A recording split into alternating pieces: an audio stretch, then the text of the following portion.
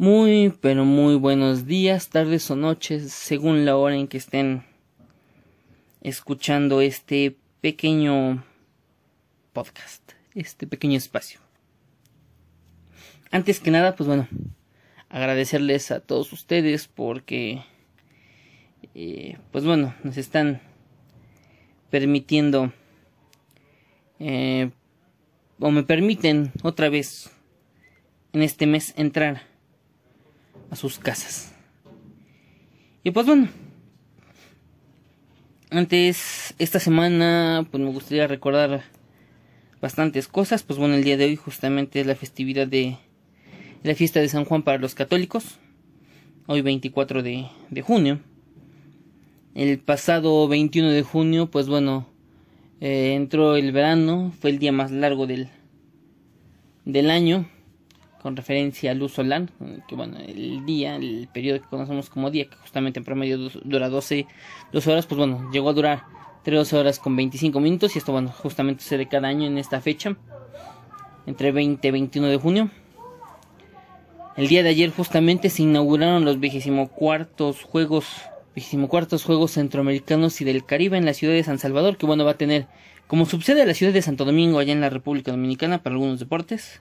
Y bueno, justamente el día de hoy inicia su participación la selección de béisbol de México a la que se les envían los más grandes deseos porque pues bueno, regresen a este país con medallas.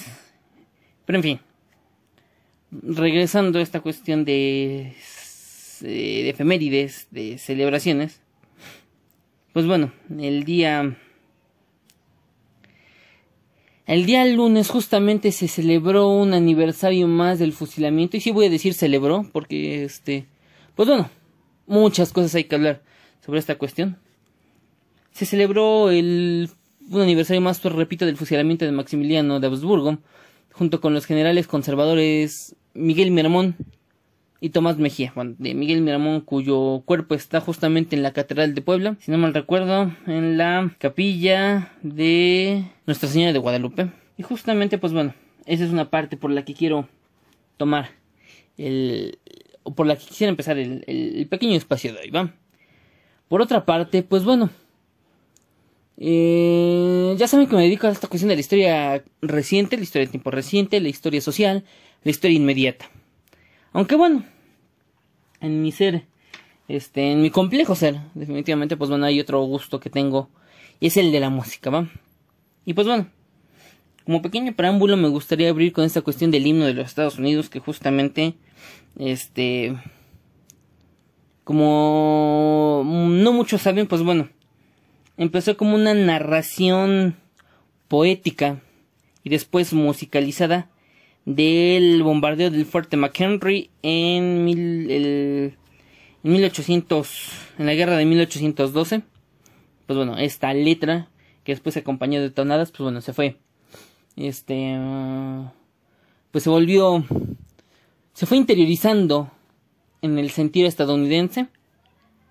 Pues bueno, hasta nuestros días se convierte ya es en el himno nacional. Y pues bueno, justamente en este lado, en esta parte del continente, pues tenemos nuestro propio, eh, digamos que nuestra propia, nuestra propia manera de narrar musicalmente lo que sucede. Y justamente es el corrido. Que bueno, justamente la popularidad del corrido en nuestros días, pues bueno, lo encontramos más en la cuestión del narcocorrido, del corrido tumbado, del del bueno ahorita me acabo de, acordar del grupo marrón y el porno corrido pero en fin este pues bueno justamente este este género musical propiamente mexicano si ustedes les pregunto por corridos pues bueno me dirán que el corrido de la toma de Zacatecas la cucaracha hacen mención a la, a lo que sucedía en la época de la Revolución Mexicana. Bueno, este, a lo mejor más, más para acá, pues bueno, tendríamos otras, otras referencias, este, mm, en este caso yo creo que no son meramente de la época de la Revolución, sino que son de tiempo atrás, va. Por ejemplo, los dos hermanos que interpretan, si no mal recuerdo, los cadetes de Linares, el corrido de Lucio Vázquez, que, o mejor conocido como Volaron los Pavorreales, que una de las interpretaciones más famosas de ese corrido las, la hace Eulogio González Piporro. Justamente que bueno, eh, con el tiempo este un grupo, creo que de Sonora llamado Los Perros de la Cuadra lo, lo derivó en este Volaron los Power Rangers, ¿va? Que bueno, narración bastante chusca, pero en fin.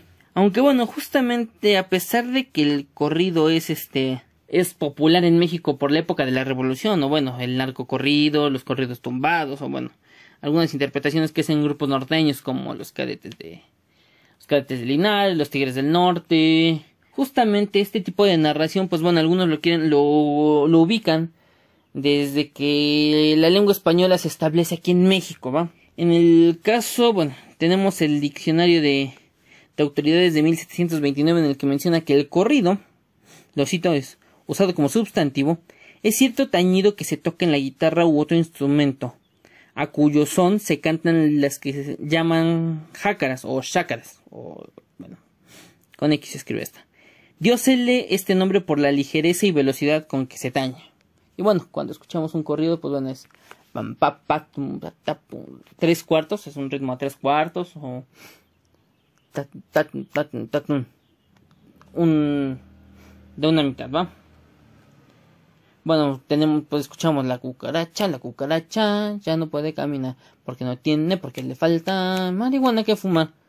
Ahí está ese, ese tres cuartos. Ah, bueno, otros corridos famosos, bueno, está la Martina, la Delgadina, Rosita Alvírez, entre otros, ¿va? Pero en fin, es que hay una cuestión del corrido que llegamos no a dimensionar, ¿va? Justamente. bueno, repito, es revolucionario o la popularidad revolucionaria, pero bueno, un trabajo de Antonio Aviti Hernández que publica la editorial Porrúa, pues bueno, nos recoge recorridos, digo, corridos, perdón, de otras épocas que no son propiamente la revolución. De hecho, esta esta obra se divide en dos tomos, el segundo prácticamente ya es la Revolución 1910 hasta, mm, bueno, mediados de, la década de 1940 y pues bueno, eh, pues el segundo, pues bueno, el primer tomo, pues bueno, habla desde la época de la independencia hasta las épocas del, del porfiriato y bueno, hay quienes los catalogan temporalmente de independencia porfiriato, de porfiriato a México por revolucionario y de México por revolucionario hasta nuestros días, ¿verdad? Que bueno. Y justamente, repito, esta cuestión de hablar del corrido, pues bueno, es para recordar que justamente estas narraciones, pues bueno, no nada más son propiamente la revolución, lo voy a repetir por, por enésima vez, ¿va? Sino que justamente, este, pues bueno, tenemos otros tantos, este, eh, otros tantos corridos que bueno, nos recuerdan la época de esta temporalidad. De hecho, hay un corrido llamado El sitio de Querétaro en el que justamente, pues bueno, se habla de la de lo que sucede en este en este momento va. Que bueno dice va más o menos así bueno esta musicalización la da Oscar Chávez en el patíbulo del Cerro de las Campanas a dónde estaban mis compañeros peleando cual fieles, fieles guerreros eran Méndez Mejía y Miramón. Y justamente son los últimos momentos del imperio en México. Eh, mencionar que el corrido tiene esta función de identidad pero al mismo tiempo también tiene esta función de informar va justamente, pues bueno, recopilados por Oscar Chávez en el en su disco Juárez no debió de morir. Pues bueno, tenemos el sitio de Querétaro, tenemos las Torres de Puebla, los cangrejos y este y adiós mamá Carlota, ¿va? Que bueno. Eh, de estos últimos dos, pues bueno, me gustaría mencionar a los autores. En primer lugar tenemos el eh, Los Cangrejos, que bueno, también fue reversionado por Oscar Chávez en su disco este, Parodias Neoliberales. Ese fue escrito por Guillermo Prieto. Cangrejos al combate, cangrejos al compás. Un paso para adelante, 200 para atrás. Casacas y sotanas, dominan por te quiera. Los sabios de Montera, felices nos harán. Bueno, son estas, este, pues estas críticas que hacía el bando liberal justamente a los gobiernos conservadores y bueno, a los modos conservadores. Por otra parte, pues bueno, está el adiós mamá Carlota. Alegra el marinero con voz pausada canta, y el ancla ya levanta con extraño rumor. La nave va en los, bares, en los mares botando cual pelota, adiós mamá Carlota, adiós mi tierno amor. Este corrido eh, se lo achacamos a Vicente Arriba Palacio, eh, poeta, historiador, justamente le corresponde, este, pues justamente editar o ser el, el, el organizador, el compilador, bueno, algún nombre en específico se le da, de esta maravillosa obra que, bueno, de, la cual los historiadores no podemos prescindir al revisar, que es este México a través de los siglos, ¿va? La cual, pues bueno, tenemos a, propiamente, a Vicente Río Palacio, a José María Vigil, se van a Alfredo Chavero, entre otros tantos historiadores. Y por otra parte, que nada más el corrido no era una cuestión, pues, meramente eh, pues digamos que meramente eh, académica o que era este algo culto, ¿va? Sino que también pues estas cuestiones se daban en la popularidad o al menos bueno, yo creo que buscando acercarse a lo popular, aunque bueno, parecería una breve caricatura. Antes de continuar, pues bueno, unos pequeños anuncios parroquiales. Pues bueno, justamente este, pues este, en estos días tenemos el mes conmemorativo de la muerte del imperio y la victoria de la república, del cual, pues bueno, siempre es importante hablar porque es uno de los momentos en los cuales se afianza la soberanía nacional. Justamente hace unos días, el camarada Luis Ángel Montiel dio el banderazo de salida para este mes conmemorativo con un pequeño video explicando el concepto de la gran década nacional que lo ubicamos entre 1857 y 1867. De hecho, es muy simbólico, repito, que estemos tomando esta cuestión de empezar el 19 de junio y terminar el 15 de julio, ¿va?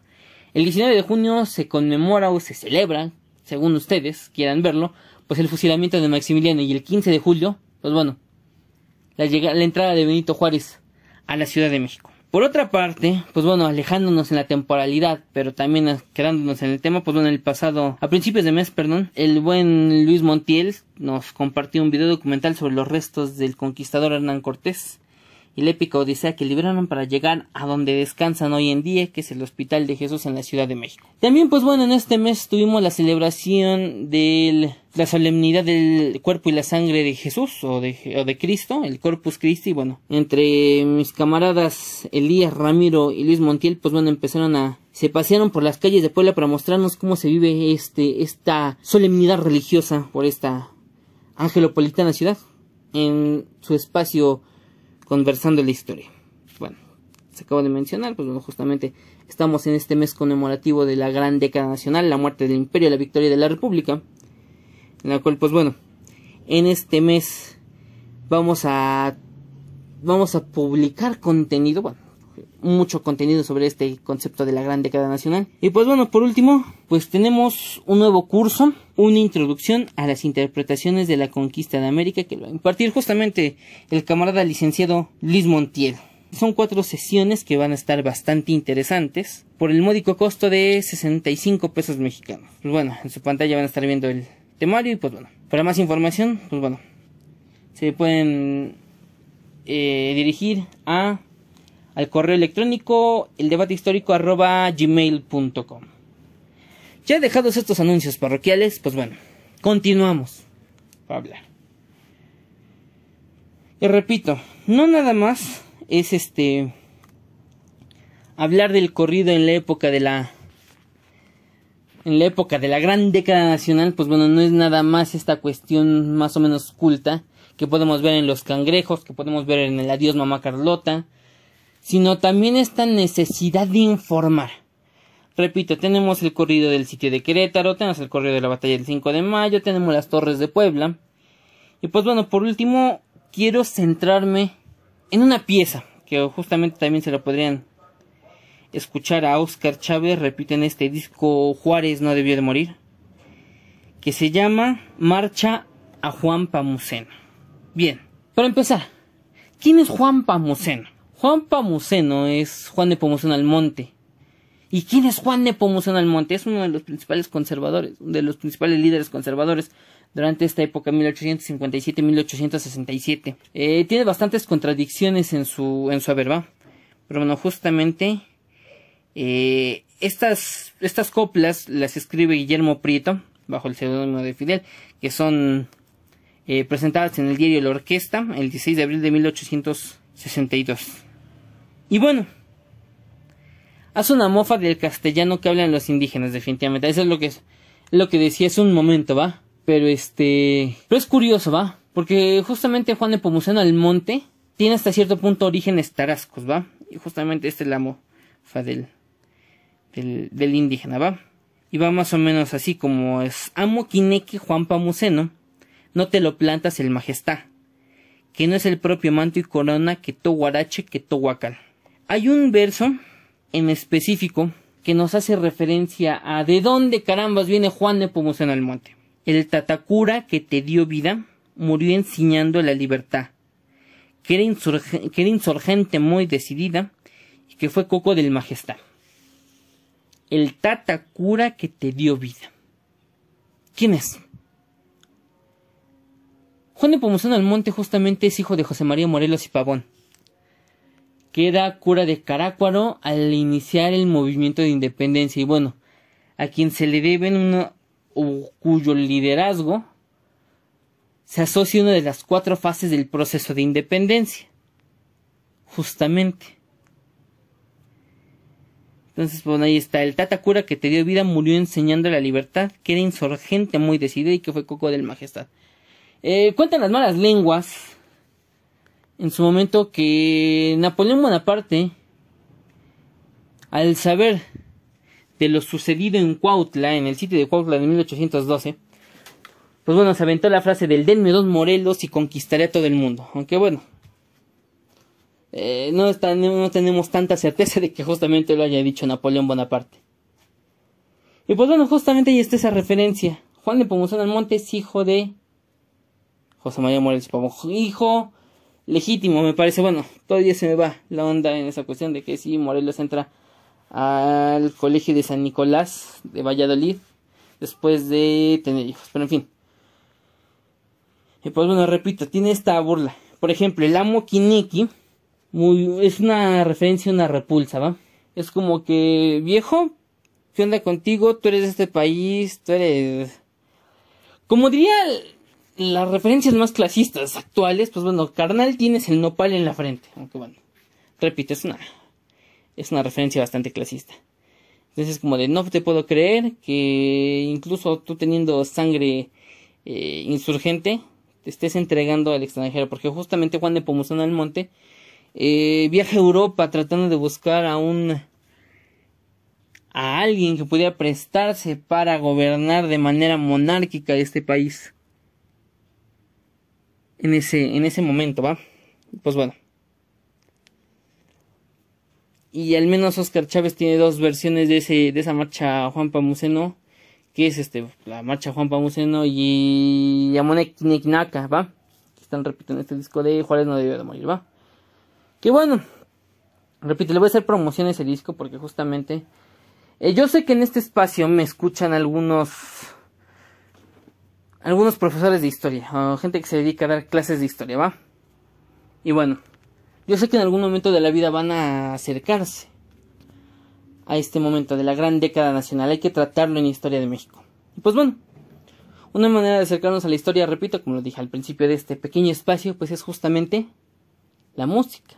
Pues bueno, tenemos estas narraciones, ¿dónde están esas torres de Puebla? ¿Dónde están esos templos sagrados?